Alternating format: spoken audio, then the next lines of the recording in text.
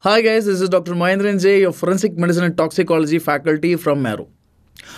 Here we're gonna have a small discussion on NEET PG 2023 recall questions from the subject forensic medicine and toxicology. If you look at the questions in this session, all the questions were straight uh, forward questions. There is uh, no kind of twisting everything. It's very easy questions. I hope all of you must have gotten a great strike rate and all the questions were basically from the high yield areas. Like normally you tend to have uh, areas like uh, management of snake bite management of datura poisoning and you have autopsy technique. These are all the areas where we tend to get the questions often. And the same trend has been followed this year as well. Okay? Right let's start with the uh, first question. The method of autopsy carried out en masse. Right? They've given you the clue itself en masse to remove from the tongue to prostate. So this is Letulle's technique. Very easy question fine. And you know very well there are four techniques of organ removal we have got. Number one we can remove the organs one by one wherein all the attachments will be severed all the attachments will be cut right? You can study the organ in detail but you cannot study the inter organ relationship. In that case if you want to study the inter organ relationship right in that case you can remove all the organs together that is called en masse where you take the all the organs together detaching the tongue from the attachment and remove the cervicothoracic organs, abdominal organs, pelvic organs together as a single mass. We call it as en mass. And the third method that is we have got block dissection. One of the disadvantages of en mass is it gives you such a large mass sometimes it's very difficult to handle so if you want to reduce the size of the mass then you can have this block dissection where specifically you focus on cervicothoracic abdominal or urogenital block you call it as Ghon's method right? And the last one is in situ method where you dissect inside the body itself. This is preferred in a case where you don't want the external contamination right? We'll discuss about that. The first technique organ by organ that is called Virchow's technique. This happens to be the most common technique because it's easy one right? But when you remove all the organs together, that is called Letulle's technique. You can remember L for large mass. En masse is the technique where it gives you large mass. You can remember Letulle's large mass. As I told you earlier, if you want to study the anatomical relationship, the architecture is preserved only in Letulle's. So you can prefer this particular technique for the study of anatomical relationship fine. And similarly we have the Ghon's method that is block dissection. This is Ghon's method. As I told you cervicothoracic abdominal or urogenital blocks can be obtained and from there you can start doing dissection. And then the last method is in situ method. Inside the body we call this as Rokitansky method. This is done inside the body. Preferably it is useful in case of infectious disease for example the person suffers from covid the person dies of HIV, where if you remove the organs out, there can be spillage of the body fluid, there can be a chance of contamination. So what you do is you dissect the organ inside the body itself, in situ dissection, com- sometimes combined with the block dissection. That's called Rokitansky method, right? We know the name, Virchow's, Letulle's, Ghon's and Rokitansky. Fine. And the answer was uh, Letulle's method right? En masse. The next question is also from the same area. It becomes so simpler for you. A 42 year old hiv positive patient died and the body was brought for post-mortem. The method of autopsy to be done is dash. We just now we discussed it is rokitansky method. It's quite very simple for you. The temperature of a body of a diseased person is raised to 39 degrees celsius. What is the reason? Right? Is it cyanide poisoning corrosive poisoning septicemia or intra-abdominal hemorrhage the first thing what they have given you is you need to find out the condition right where the body temperature is increased after death right? That is what they've given you. The body temperature of a deceased person is raised to 39 degrees celsius. Forget about the 39 degree the number. You just remember it is a body is a con- condition where the body temperature is raised. See normally what happens normally what happens if uh, the person dies there is a decrease in the there is a decrease in the body core temperature right? There is a decrease in the body core temperature and the body keeps on cooling down. Fine. So this is called this is called as algor mortis fine. So this is called as algor mortis but sometimes what happens there can be there can be increase in the body temperature. The body remains warm. The body remains warm right after death even after death the body remains warm not for a longer time maybe for 1 to 2 hours. What is this condition guys? This is basically called as this is basically called as post-mortem caloricity pm caloricity right? Now in what kind of situations that you can expect this post-mortem caloricity whenever there is disrupted or impaired whenever there is impaired heat regulation in the body at the time of death at the time of death. Impaired heat regulation. Or there can be excessive heat production in the body at the time of death. Or there can be excessive bacterial activity right in the body. Bacterial activity in the body then you can see postmortem caloricity fine. I've given you the concept. I've given you the mechanism. You can find out what are the conditions that are associated with this. The first condition is where impaired heat regulation. Maybe you can remember heat stroke heat stroke increase heat production in the body. You can remember the heat is produced in the body in a case of tetanus or strychnos nux vomica, particularly when the person is suffering from convulsions at the time of death. You can see there is excessive heat gener- convulsions, muscle convulsions, increased heat generation, resulting in postmortem caloricity.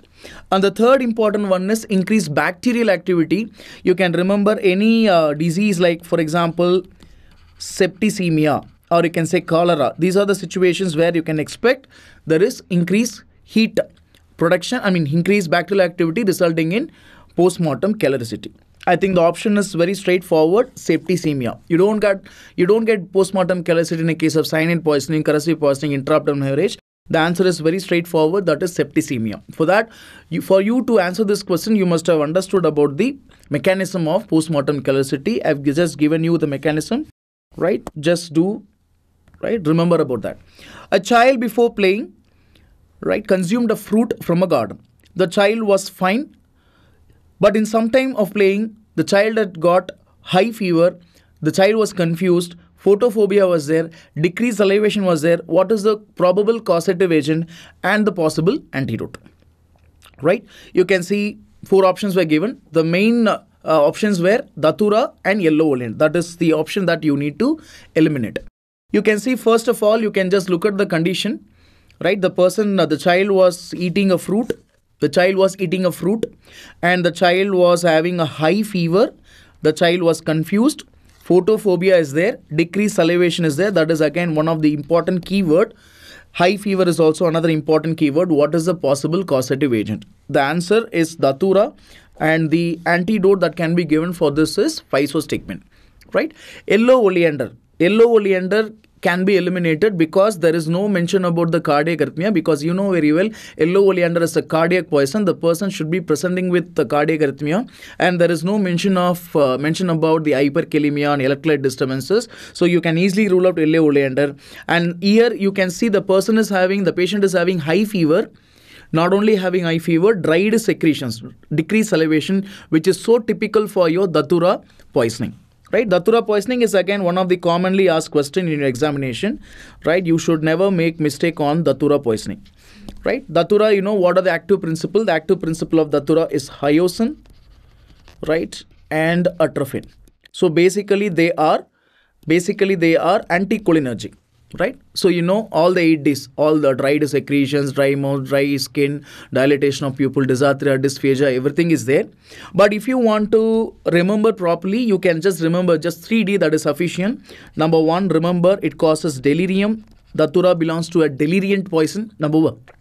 Number two it causes dried secretions you can see dry mouth dry skin right? Everything and remember it also causes dilated pupil dilatation of pupil.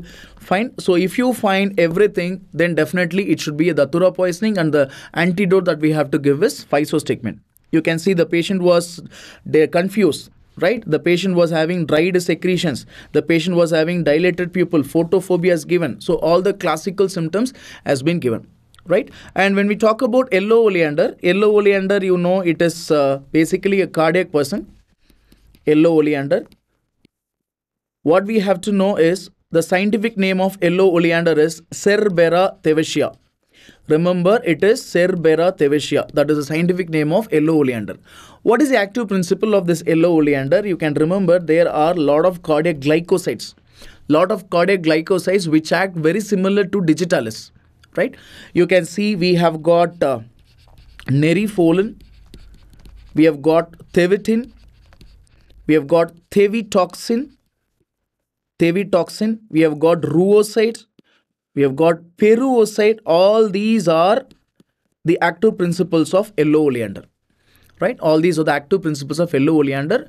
As the name implies, the patient will be having cardiac arrhythmia. But if you see two typical uh, electrolyte abnormalities can be noted here. One is hyperkalemia. Hypokalemia can also be noted, but hyperkalemia is life-threatening. Not only that, even hypomagnesemia can also be noted in this poisoning. Right? So keep a note of this guys. So if you find any uh, question with this kind of patient uh, has consumed unknown fruit right and the flower was looking uh, bell shaped the person suffers from chest pain palpitation and uh, admitted to the hospital the potassium level is elevated right? You you got the answer that is your yellow oleander fine. And of course the patient will be having cardiac arrhythmia. I told you. How do you manage this condition? You need to manage the condition right? First you have to do decontamination. Remember decontamination has to be done as with any other poison.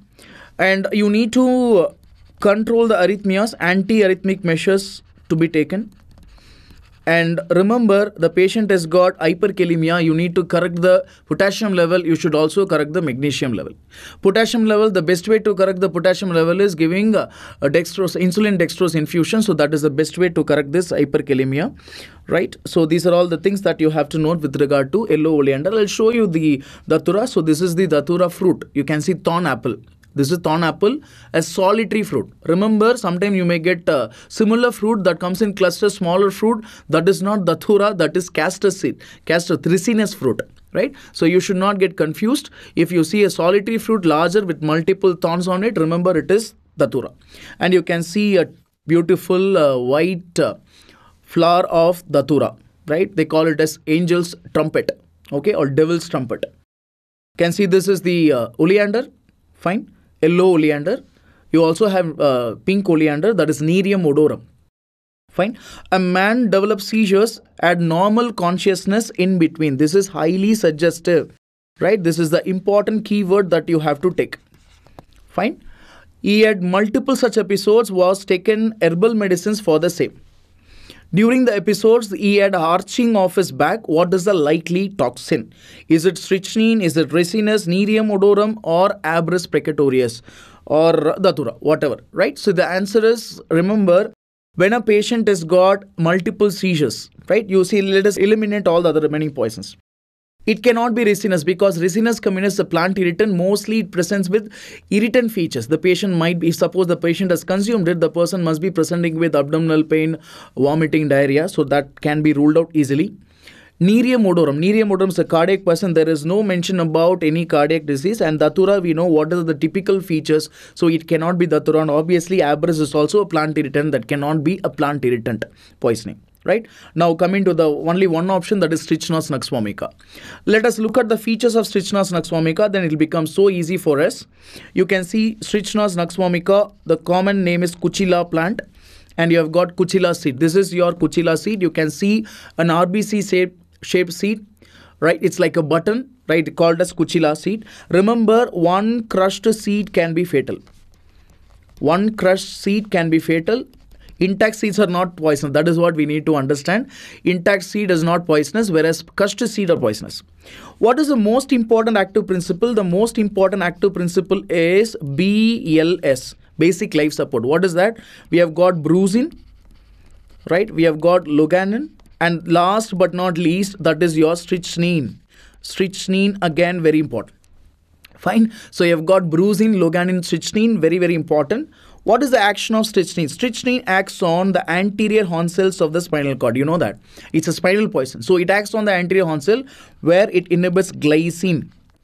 When it is in- inhibiting glycine, the inhibition is lost. See, normally glycine is an inhibitory neurotransmitter in the spinal cord. So when the inhibitory neurotransmitter is inhibited, the anterior horn cells get excited. We call it as release excitation, right? Release excitation. The anterior horn cell gets excited it gets excited, resulting in muscle convulsions. The patient will present with muscle convulsions. Right? Muscle convulsions. Look at the feature of muscle convulsion. That is again important. If you look at the feature of muscle convulsions, you can say this is an episode of convulsions followed by a period of relaxation. Right? Again, there is an episode of convulsion followed by relaxation. Again, there is an episode of convulsions resulting in death of the person.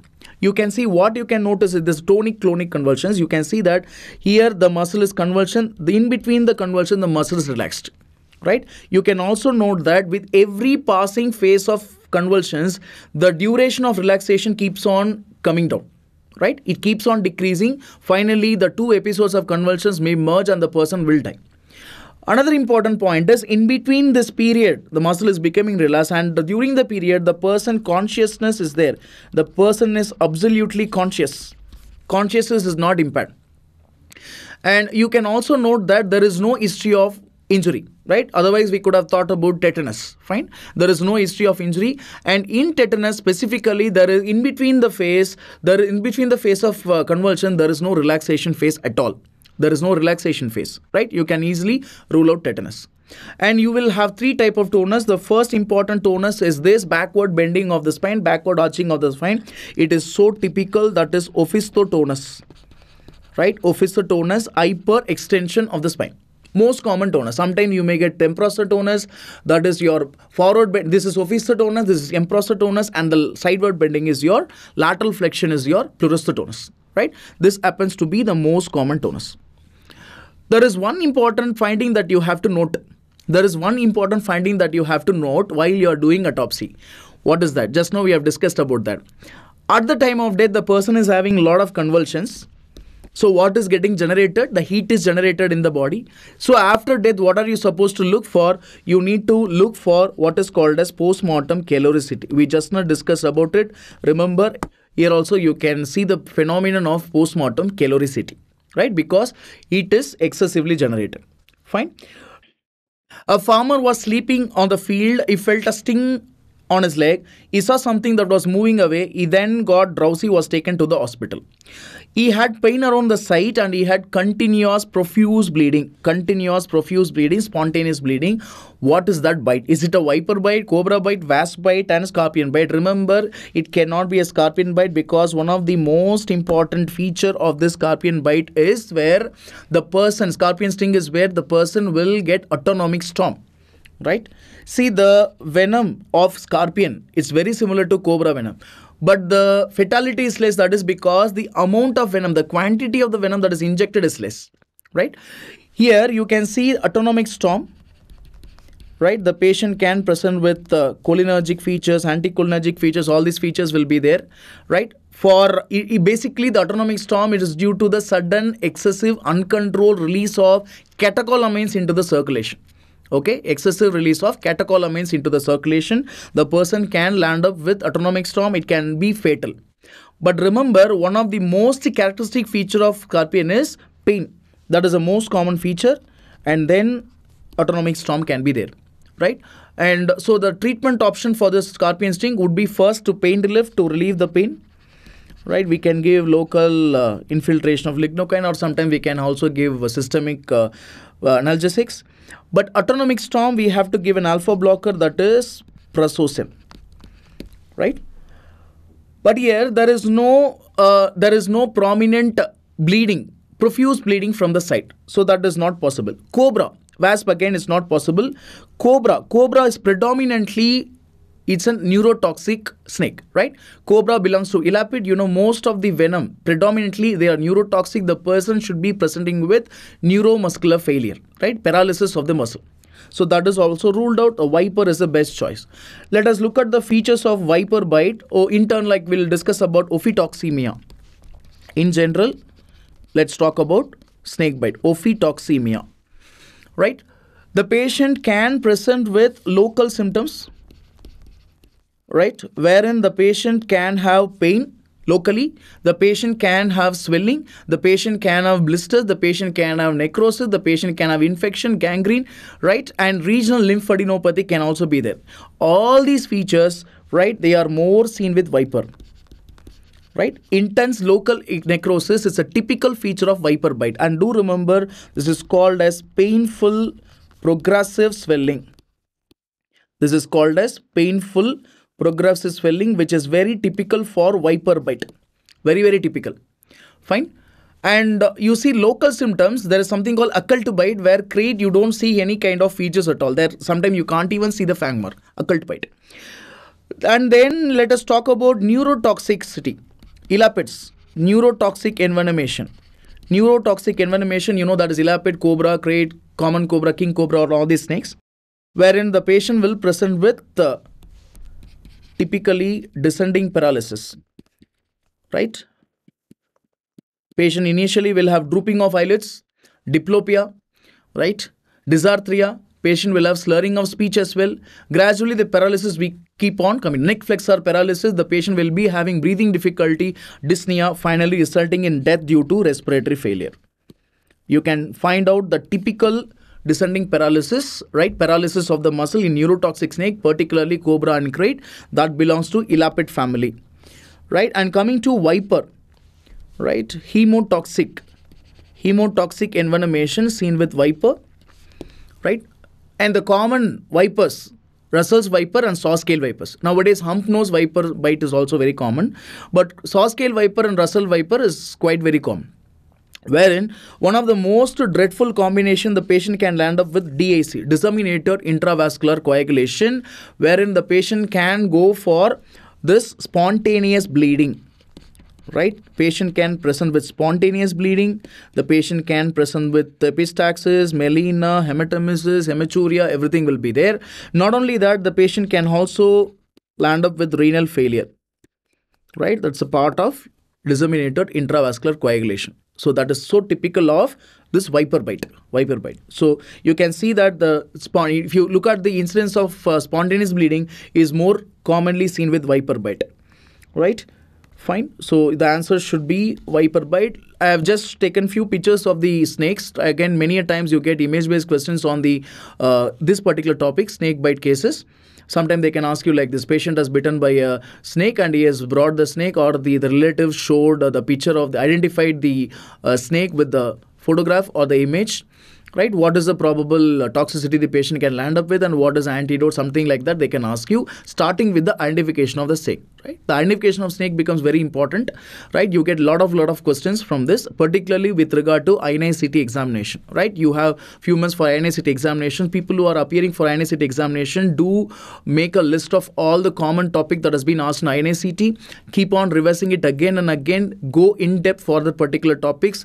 Definitely the questions will be focused around the same topics right? With regard to examination of uh, survivor in a case of sexual assault examination of accused in a case of sexual assault right? Autopsy techniques very commonly asked consent the negligence cases ethics. These are all the areas where is frequently targeted in your INI-CT so you need to take the list. Keep on hitting it again and again and again okay?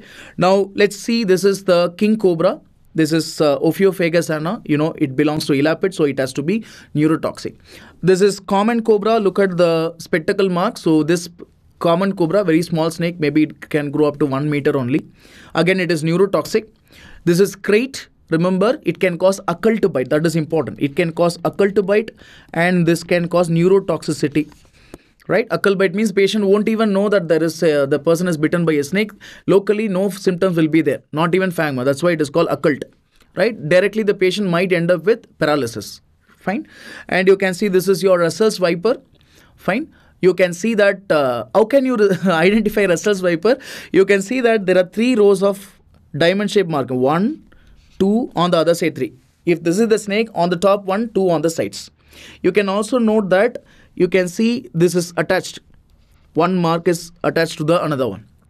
Russell's viper fine most of the times it is vascular toxic but there will also be an element of neurotoxicity there. But predominantly it is vascular toxic or hemotoxic. This is again russell's viper. This is saw scale viper right? This is saw scale viper. You can identify right by the arrow mark on the head and you can also easily identify by the saw like scales in the body of the snake. Fine? This is saw scale viper. The scientific name is Echis carinate. Carinate right and this is Daboia russellii Daboia russellii fine and your uh, krait it is bungarus ceruleus. it produces bungarotoxin Ceruleus. right this one common cobra is Naja naja this is Naja naja and your king cobra is Ophiophagus annus. Ophiophagus hannah. Right? Ophiophagus. Ophio means snake. It eats another snake. Ophiophagus hannah. Right? So these are the scientific names. But do remember this common cobra, krait, Russell's viper, saw scale viper, these are all the big four. right? Against which our Indian anti-snake will be very, very effective. 314 IPC. Again, this is very important topic, right? Many times you get questions on that. Particularly if you're appearing for NEET or any side, questions will be on the abortion, legal abortion that is legal abortion that is you might get questions on mtp or you you may get questions on illegal abortion that is criminal abortion. What are the sections that are associated with criminal abortion? Fine. You just have to remember three sections nothing more than that. 312 313 and 314 right? Criminal abortion legally it is called as voluntary miscarriage. Voluntary miscarriage done with the consent of the female you can say that is punishable under 312 IPC. Don't start with 311, right? People start with 311, 12, 13. It's not like that. You need to start with 312, 312, 313, and 314 IPC. Without the consent of the female. Without the consent of the female, that is 313. And 314 is criminal abortion because of complication resulting in death of the female, right? Fine. So 12, 13, 14 with consent, without consent, and death. 315 IPC, death of uh, an act causing the death of an unborn child. So this is 312, 313 and 314. Right. So let's go forward. So answer would uh, be death of a mother while the intent to cause an abortion. Right. Abortion resulting in death. Abortion of unborn child ranging to culpable homicide. This is given by 316 IPC. Right. 316. Fine. 316. The baby is born and the baby was killed. Right. You call it as infanticide. Right it is punishable under dash section. Is it 316 IPC or is it punishable under 302 IPC? 302 is the IPC that is meant for murder, right? So which section punishes, right, infanticide? Do remember in India, make a note of it, in India, there is no differentiation between killing of an adult and killing of an infant. Infanticide is always punishable under 302. Here, it specifically means that 369 specifically states that it is an act causing death of an unborn child. If it is born, then it is murder. Unborn child, it is punishable under 316 IPC. In OPC poisoning patient, treatment was done with atropine and pralidoxime. Right? Fine. The patient has become hyperthermic Fine. This is due to dash. It's very simple. It is atropine. We know that it is anticholinergic, right? There was another question which we got in Datura. There, you can see that the child ate the fruit, the child developed high fever, right? Even if you have not read about this topic, no problem. If you have particularly if you have concentrated on that particular question you could have answered here correctly right there the Poison was datura. They have mentioned the patient was presenting with high fever, photophobia, confusion, and decreased salivation. They have mentioned high fever as a symptom there. That the same thing has been asked in different version in this particular question. The answer would easily be atropine toxicity. Right? It is not cyanosis, it is not aspiration pneumonia, it is not oxime toxicity. Right? It is atropine toxicity. Straightforward, simple question. Very easy question. A worker working in hot weather condition in the field collapsed with altered consciousness. The patient was brought to the hospital. His temperature was recorded to be 106 degree Fahrenheit. I don't know. In this session, like uh, many of our questions were related to temperature, fever temperature, postmortem caloricity. Again, the temperature was mentioned 39 degrees Celsius. Okay. Which of the following is least expected? Tachycardia, hypotension, hot skin, and sweating. Right. So we'll have to find out what condition is first of all. What is mentioned here? The first, the patient has got uh, altered consciousness. Number one, the patient was working in hot weather conditions number 2 and you can see the temperature body temperature is increased to 106 degree fahrenheit that is 3 they gave you the the complete hint the complete clue was given this condition is basically called heat stroke right this is called heat stroke heat stroke has got the classical triad right? You must have known the classical triad. If there is any history of heat exposure, which is associated with CNS dysfunction, CNS symptoms, which is associated with body core temperature increased more than 40.5 degrees Celsius. This is the triad of heat stroke. The classical heat stroke, the diagnosis is done. It is a case of heat stroke. Very simple and straightforward. But which of the following is least expected? tachycardia, hypotension, hot skin, sweating.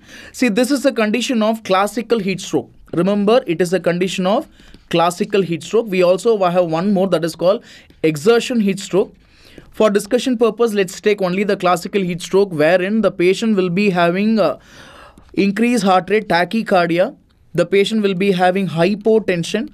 The patient will present with uh, hot and dry skin. Do remember sweating. Sweating will be completely absent.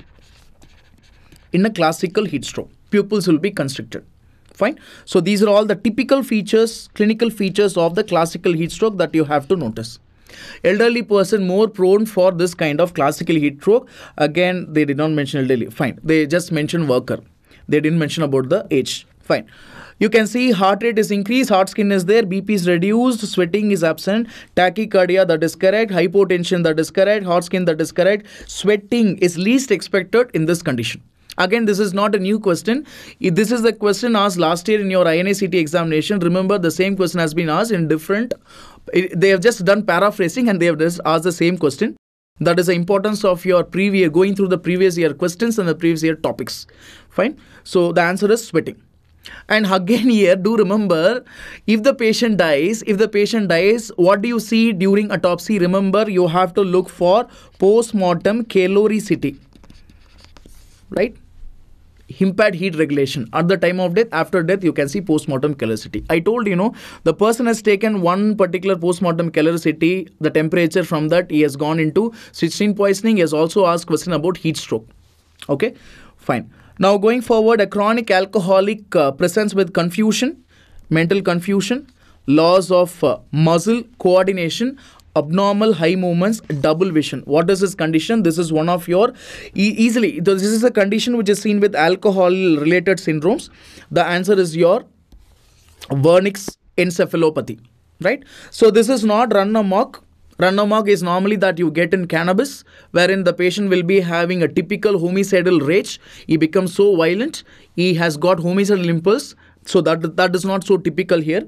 Delirium tremens, there is no mention about the altered sensorium, there is no mention about hallucination and uh, tremors, and there is no history of alcoholic withdrawal, nothing is given. So the answer is typically goes either psychosis or encephalopathy. The condition, which is the symptom, which is typically given, right, wherein the patient has given global confusion, the patient has got confusion, the patient has got ophthalmoplegia, ophthalmoplegia, and he has got ataxia right? So he has got typical GOA. When it has got when he has got typical GOA then it has to be Wernicke's encephalopathy. It is uh, you can see the thiamine deficiency. Thiamine deficiency can be noted. Fine. So this answer is again this is again repeat question. This is not a new question. Asked multiple times in your examination. The treatment modality in a case of aspirin poisoning normally they used to ask paracetamol. This time they've asked aspirin poisoning with 100 tablets right uh, which antidote that you would like to give for the patient. In every exam, you get at least one or two questions from antidote. In every session, you can take it from me that you will get at least one or two questions from antidote. N-acetylcysteine, we give it for paracetamol, right? Gastric lavage, right? If we have got better antidote, we can think of the flumazenil given for benzodiazepine. Remember here, the person has got aspirin poisoning, wherein we have to do urinary alkalinization. Urinary alkalinization because aspirin is an acidic drug. If you want to give if you want to increase the excretion of the acidic drug, remember we have to do alkalization of urine by giving sodium bicarbonate. So that is the best that is the best choice that we can choose here. Okay, fine. Right. Gastric lavage can also be done because he has come with 100 tubs. Obviously, we have to do gastric lavage. But better than that, I would choose B option rather than choosing C because B is more appropriate. Fine. So, acetyl alkaline diuresis by giving sodium bicarbonate. A 10 year old male said came to the casualty with difficulty in walking, had pain in the perianal region. Anal swabs were taken, showed needle shaped crystals with the picric acid. Okay. There are two clues. Number one, the needle shaped crystals. Fine, they have given needle shaped crystals. And they have given another important uh, clue that it is about perianal region anal swab. Right, so it must be a seminal stain. Right, so we have to think in terms of test for seminal stains. Right, fine, needle shaped crystals with picric acid what is this test? This test is basically, what is this test? This test is basically your Barberio's test. Barberio's test wherein we look for the presence of needle shaped crystals which is typically yellowish right? Yellow color needle crystals. This is one area again it is being continuously targeted for the last i think two years. Multiple sessions you got this question be it INI-CET, be it NEET PG or FMG exam. Every exam you tend to get questions either on Barberio's test or in the Takayama test blood stain. Uh, in the blood stain you will get Takayama. If it is a seminal stain you will definitely question get question on Barberio's remember you need to go in depth. First thing in Barberio's test we are looking for the presence of spermine in the semen spermine. And if you give the Barberio's reagent, it forms what is called as spermine picrate. Since it is spermine picrate, you get yellow color needle crystal that you can notice that you can observe that in the microscope. You can see Barberio's test is specifically given over there, remaining tests are not there. Florence test is where we get your dark brown rhombic crystals. Dark brown rhombic crystals, which is basically choline iodide. Acid phosphatase test can also be given, but acid phosphatase test is not that something that you see with the microscope. This is an enzymatic test. Acid prostatic acid phosphatase. Prostatic acid phosphatase, suppose if you are uh, able to see more than 100 Bodansky units, right, that suggests that the emission happened less than 12 hours, recent activity. But that is enzymatic. That is not uh, associated with the the crystals, right? Crystals, you just have to remember only two things. Number one, Barberio's. Number two, it is Florence. Barberio's is where you get yellow needle and Florence is something where you get dark brown rhombic crystals, which is very, very simple. But let me tell you another important point in this question. Let us take one more extra point. You can see 10-year-old male child. You can see what is this condition? A 10-year-old male child is subjected to sodomy right 10 year old male child subjected to sodomy this person is a passive agent right? Passive agent. Right? If the active agent happens to be adult, this passive agent happens to be child, this condition, this condition is called as pederasty. Remember, it is called as pederasty, and this fellow, this 10 year old child, will be called as catamite. Accused will be called as pederast. The condition is called as pederasty, and it is called as catamite. Do remember, it can also be asked in the future exams. You can see this is the seminal stain where you can see starchy appearance. You can see uh, irregular in outline. You can see this appearance of this. And if you see through uh, UV light, you can see the fluorescence, but that is not specific because you can see the fluorescence even in uh, nasal secretions and the vaginal secretions. You can see that. One thing they can ask you is what is the reason for this fluorescent activity that is due to the presence of choline? And what is the color that you get? You get bluish white you get bluish white. Okay so that is important. Fine. What are the two important tests that we can do? Microchemical test number one it is barberio's test. This is the appearance of barberio's test yellow needle crystals. Right? Another one is florence test where wherein we get your dark brown rhombic test. This is florence test and what are we checking in Florence test? We are checking choline, whereas Barberio's test, we are checking spermine. I told you that. And which is the gold standard for the seminal stain test? The gold standard for the seminal test is this, wherein you need to do microscopy. If you are able to do, if you are able to find out one complete intact spermatozoa, that confirms it is a seminal stain. That's it. That is a gold standard. Okay. So we have discussed all the questions right? I hope that uh, you're able to get clarity on the questions and uh, i want you to just uh, take out the list of uh, important topics asked in the previous INI-CET examinations. If you're appearing for next INI-CET examination make sure that you take the previous year topics and make sure that you just have a complete reading in-depth reading so that you'll be ready for the examination. Okay? All the very best. Take care